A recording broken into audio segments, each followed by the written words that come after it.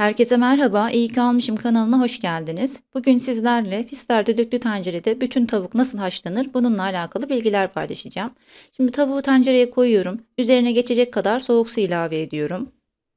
Suyu koyarken dikkat etmemiz gereken en önemli husus tencerenin içerisinde ölçekler var. Yani 1 bölü 2, 1 gibi gösteriyor. Orada max çizgisi var. O max çizgisini yani maksimum su seviyesi bunu geçmiyoruz.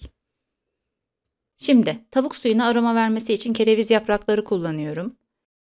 1 adet bütün soğan, 1 adet iri parçalar halinde doğradığım havuç, 3-4 adet defne yaprağı, sarımsak, kekik ve tuzunu ilave ediyorum.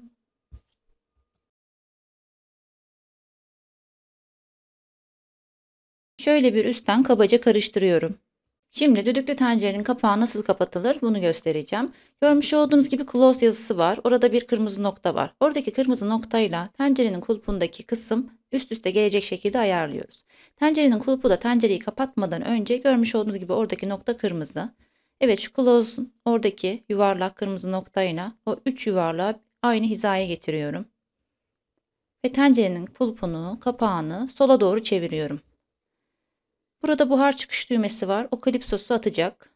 Görmüş olduğunuz gibi. Ve şu an yeşile döndü. Ve bu şekilde tencerenin altını açıyorum. İlk önce yüksek ateşte iki çizginin çıkmasını bekliyorum. İki çizgi çıktıktan sonra kısık ateşte yaklaşık 15 dakika pişiriyorum. Tencerenin pişerken çıkardığı sesi duymanız için de bu aşamaları kesmiyorum.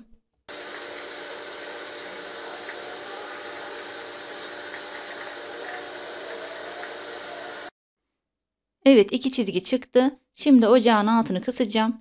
Ocağın büyük gözünde kısık ateşte 15 dakika tavuğu pişireceğim. Bunlar da kapağın üzerindeki buhar çıkış noktaları. Tencere pişirme yaparken de görmüş olduğunuz gibi kulp kısmındaki renk değişmiyor. Yeşil olarak kalıyor. Tencerenin altını kapattım. Şimdi sizlere buhar çıkışını göstereceğim. Burada dikkat etmemiz gereken hemen buhar çıkışını yapmıyoruz. Yaklaşık bir 5 dakika bekliyoruz. Çünkü ocağın altını kapattığımızda hala içerisinde e, yemek pişiyor böyle fokur fokur kaynıyor. Ve siz de birden buhar çıkışı yaparsanız bu e, basınç yukarıya böyle köpürmeyle püskürmeyle e, çıkacaktır. Bunu istemiyoruz. O kaynarlığın bir gitmesi için bekliyoruz. Bir 5 dakika beklememiz yeterli. Ben zaten genelde kendi kendi inmesini bekliyorum iki çizginin. Ama acelem varsa buhar çıkarmam gerekiyorsa dediğim gibi 5 dakika bekliyorum ve tencerenin kulp kısmındaki buhar çıkış noktasına çok hafif böyle çok hafif bastırıyorum. Birden bastırmıyoruz. Hafif hafif bastırarak buharın çıkmasını sağlıyoruz. Buhar görmüş olduğunuz gibi tencerenin kulp kısmındaki buhar çıkış noktasından çıkıyor.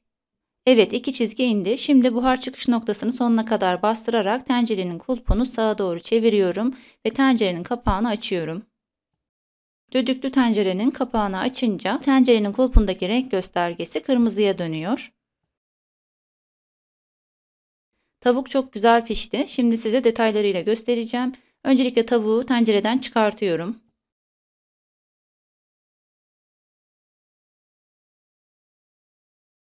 Tavuk suyunu da süzgeçten geçirerek süzebilirsiniz. Çorbalarınızda, pilavlarınızda, yemek tariflerinde kullanabilirsiniz. Buzlukta saklayabilirsiniz. Görmüş olduğunuz gibi tavuk çok güzel pişti. Kemikler etten hemen ayrılıyor. Tavuğun eti de ilik ilik çok güzel haşlandı.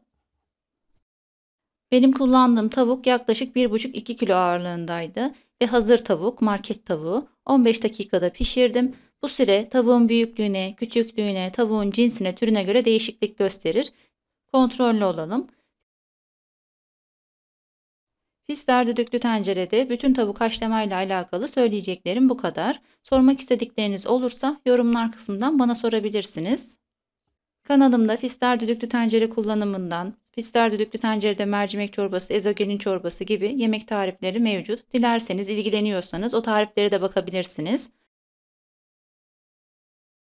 Bana destek olmak için yorum veya emoji bırakmayı, videomu beğenip sevdiklerinizle paylaşmayı unutmayın. Bir sonraki güzel paylaşımlarda görüşmek üzere, hoşçakalın.